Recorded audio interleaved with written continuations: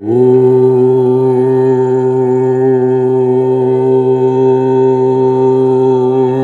श्रीगुरुभ्यो नमः தசகம் தொண்ணூற்றி மூன்று ஞானியின் குருமார்கள் பந்து ஸ்நேகம் விஜஹ்யாம் தவகி கருணையா त्वय्युपावेशितात्मा सर्वं त्यक्त्वा चरेयं सकलमपि जगत् वीक्ष्य मायाविलासम् नानात्वाद्भ्रान्तिजन्यात् सति खलु गुणदोषा वबोधे विधिर्वा व्यासेदो वा कथं त्वौ? त्वयि निहितमतेः वीतवैषम्यबुद्धेः। क्षुतृष्णलोपमात्रे सततकृतधियो जन्तवः सन्त्यनन्ताः। तेभ्यो विज्ञानवत्वात् पुरुष इह वरः। तज्जनिर्दुर्लभैव। तत्राप्यात्मात्मनः स्यात् सुहृदपि च रिपुः। यस्त्वयि न्यस्तचेताः। तापोचित्तेरुपायं। स्मरति स हि सुहृत् स्वात्मवैरी ततोऽन्यः। त्वत्कारुण्ये प्रवृत्ते क इव न हि गुरुः लोकवृत्ते विभूमन् सर्वाक्रान्तापि भूमिर्न हि चलति ततः सत्क्षमां शिक्षयेयो। गृह्णीयाम् ईश तद्दद्विषय परिचयेऽप्यप्रसक्तिं समीरात्। व्याप्तत्वं चात्मनो मे गगनगुरुवशात् निर्लेपता च।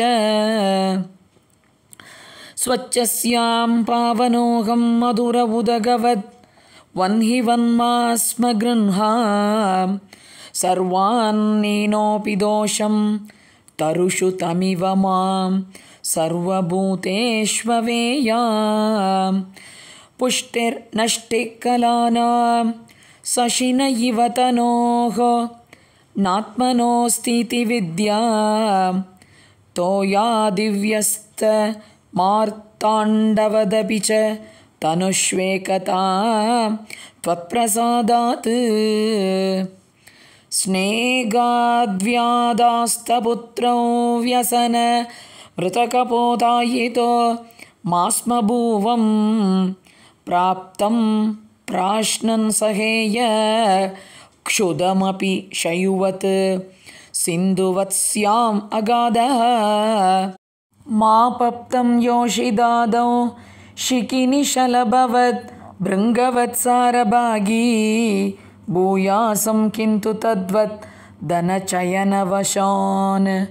माहमीशप्रणेशं मापद्यासं तरुण्या गज इव वशया नार्जयेयं धनौगं हर्तान्यस्तं हिमाद्वि हर इव मृगवन् मामुहं ग्राम्यगीतैः नात्यासज्जेय भोज्ये जश इव पडिशे पिङ्गळावन्निराशः सुप्यां भर्तव्ययोगात् कुरर इव विभो सामिशोऽन्यैर्नहन्यै वर्तेयत्यक्तमानः सुखमतिशिशुवन् निस्सहायश्चरेयं कन्याया एकशेषो वलय इव विभो वर्जितान्योन्यघोषः।